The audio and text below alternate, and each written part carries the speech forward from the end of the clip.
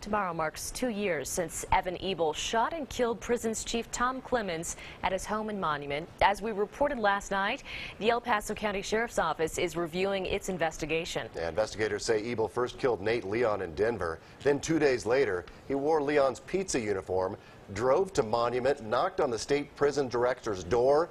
When Tom Clements opened the door, Ebel shot and killed him. Ebel was eventually killed after a police chase and shootout with officers in Texas.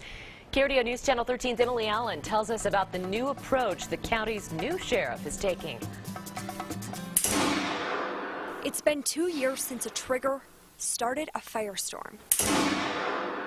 Investigators say Evan Ebel gunned down Tom Clements and Nate Leon. Jeff Knorr has been the lead investigator since day one.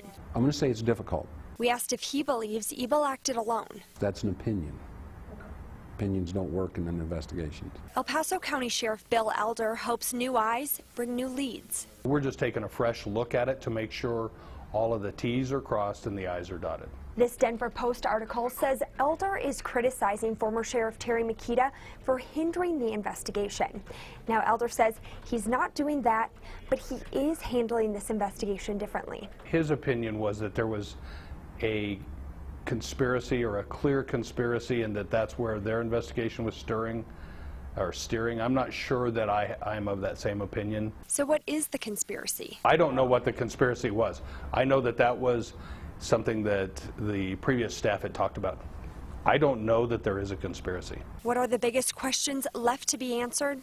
That's hard to say. We may already have the full answer, but until we get a chance to do a full review, we'll never know that. In Colorado Springs, Emily Allen, KRDO, News Channel 13. Thanks, Emily. And Elder says after their review, his office will hopefully be able to make a final ruling on this double murder case. The